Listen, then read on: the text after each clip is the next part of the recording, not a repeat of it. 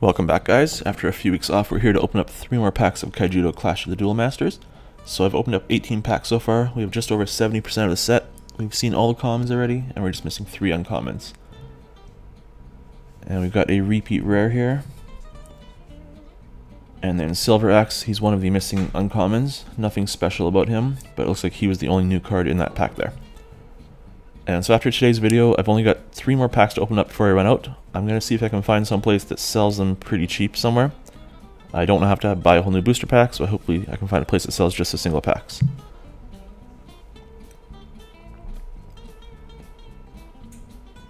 Alright, missing rare here. And we've got a very rare with his Vampiric Bite ability, really cool. Um, when he attacks one of your opponent's creatures gets minus 3000, you get plus 3000. And Aqua Ranger, another really good one there. He's got a double break, and he is unblockable. So that was actually a really good pack there, three new cards in it. And this is pack 21, last pack of the day for us.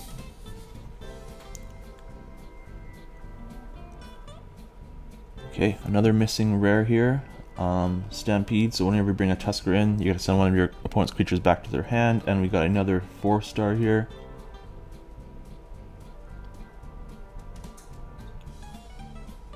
Okay, so that was a really good day. We got a total of 6 new cards there, and we'll see you guys next week, hopefully.